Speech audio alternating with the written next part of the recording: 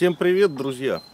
А, в продолжение а, своей рубрики о тактике выживания на природе я бы хотел вам рассказать сейчас о таком а, довольно старом, назовем его дедовском способе, как поймать рыбу без удочки, без снастей. Ну, разные ситуации могут оказаться.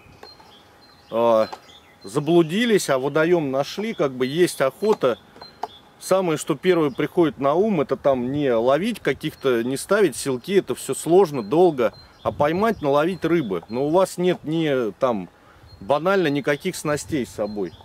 Для этого нам достаточно будет веревки и пластиковые бутылки. Вот такой, желательно 5-литровый, можно и больше. Способ такой, он долгоиграющий, так его назовем, потому что как бы процесс этот не быстрый но он результативный. Э, через какое-то время вы наловите себе рыбу на уху, что будет достаточно для поддержания энергии в организме. Ну, давайте приступим к изготовлению нашей ловушки. Итак, для начала нам нужно будет отрезать с вами вот эту часть с горловиной заливной. Поехали!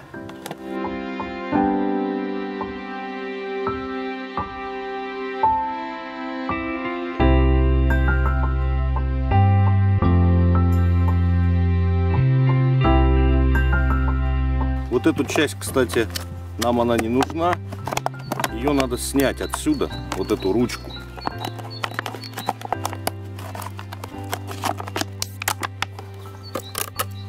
Снимаем. Теперь, ну неважно, ровно, неровно у вас получилось. Теперь просто примеряем ее сюда. Вот так вот. Чтобы у вас получилась вот такая вот конструкция. То есть подразумевается, что рыба попадает вот в эту горловину, а дальше обратно она уже вылезти не может, так как ей мешают вот эти стенки самой заливной горловины. Проделываем отверстие э, в донышке. Да, я вот взял, она, кстати, такая вот, и, продаются как бы для воды и более э, длинные вот эти баклажки, но она у меня такая коротенькая, но ничего страшного нам для эксперимента больше не нужно. Проделываем вот тут такое отверстие.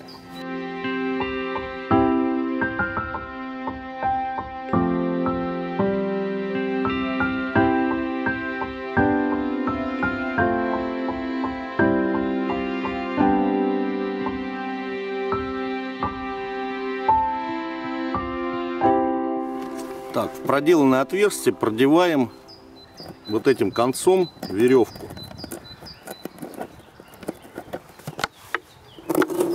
Вынимаем и делаем узелок.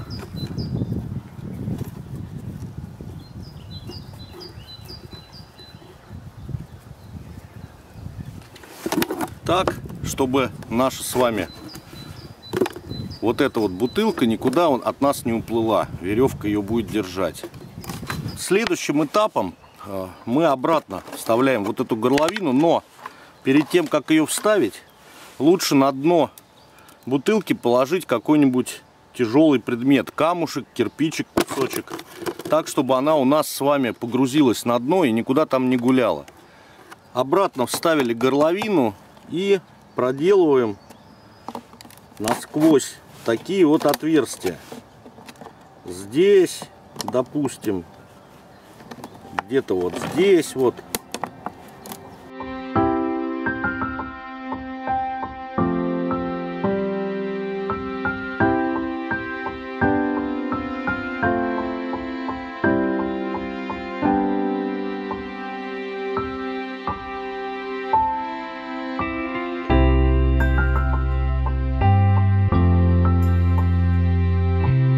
Теперь вот я подготовил такие веревочки маленькие, стяжечки, чтобы вот как раз стянуть по кругу нашу с вами горловину с самой бутылкой, чтобы она никуда у нас с вами не, не ушла. Теперь в проделанное отверстие мы эти веревочки с вами просовываем вот так вот и стягиваем.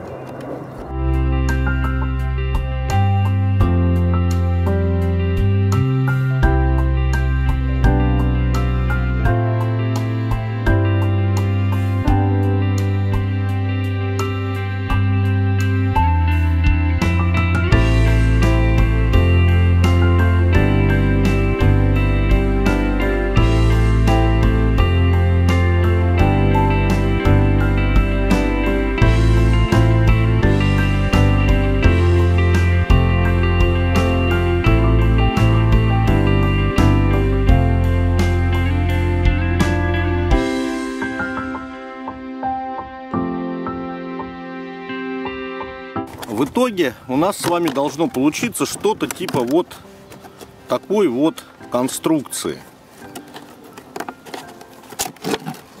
На дне камень, тяжело, здесь все у нас прочно.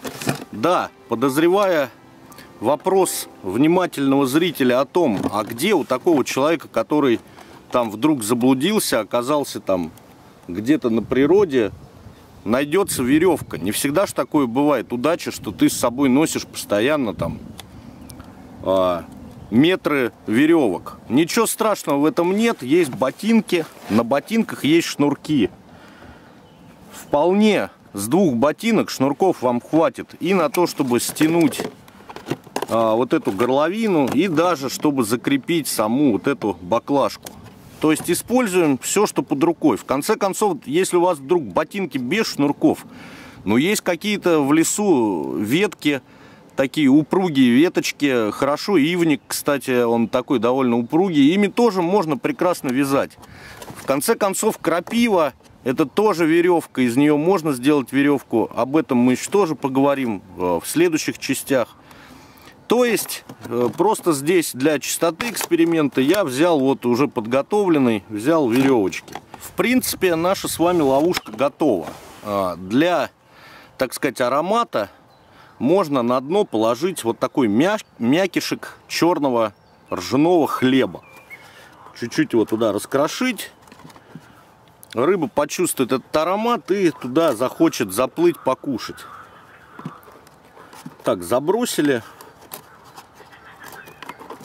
Если у вас с собой хлеба нету, ничего страшного, не беда. В конце концов, можно каких-то червяков накопать. Но даже если их нету, а, на пустую, без ничего, вот такую вот бутылку, ловушку, рыба тоже, вероятнее всего, особенно если течение, она может заплыть. Пойдемте ставить. Так, вот мы с вами вышли к реке. Берем нашу с вами ловушку раскручиваем ее и закидываем. Сейчас она у нас с вами наберет воду и потонет потихонечку. Как я и говорил, ее камень на дно тянет хорошо. Все, вот она с нами, у нас пошла. Я не знаю, какая здесь глубина. Ну, наверное, не больше метра у берега. Вот так она у нас с вами у берега и будет лежать. Да, сразу могу сказать, что такой способ, он не любит спешки. Сразу же бежать там через 5 минут, проверять, заплыла ли туда рыба или нет, не стоит. А, не раньше, чем через час, а то даже и через два проверяйте. Вот. Дергать ее постоянно не надо. Пусть там она себе лежит, мы в это время можем заниматься какими-то другими полезными вещами. Может быть, там подготовкой лагеря на ночь, там, не знаю, кипячением воды. Да просто каким-то отдыхом от суеты. Все, теперь, друзья, ждем. Никуда она у нас с вами не денется.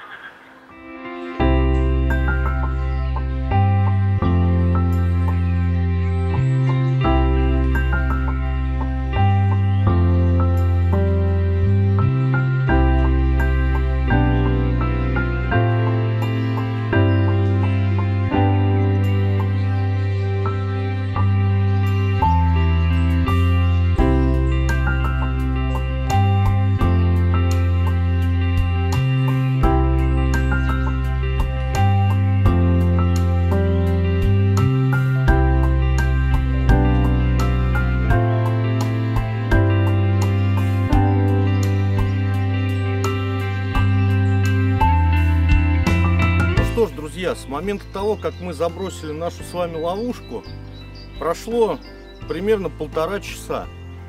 Пришло время проверить. Может быть, заплыла ли туда какая-нибудь рыбешка, может, акула. Пойдемте смотреть.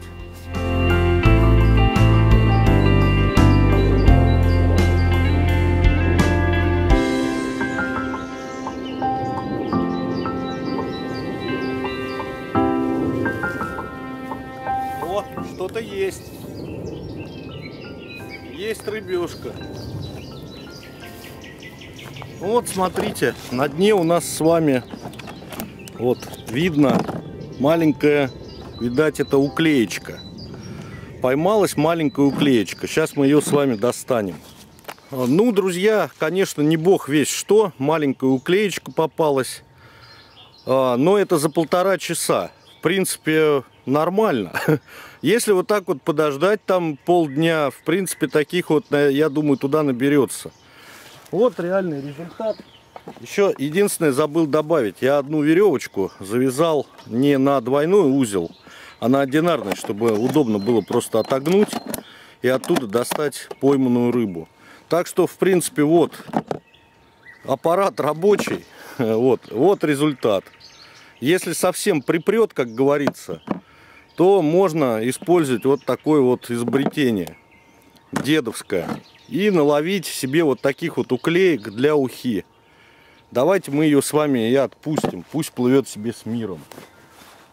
Ну вот таким образом, друзья, с помощью незатейливого такого изобретения, такой вот ловушки, конечно, это я очень кустарно сделал, можно сделать намного более аккуратно. Я вам, главное, показал принцип.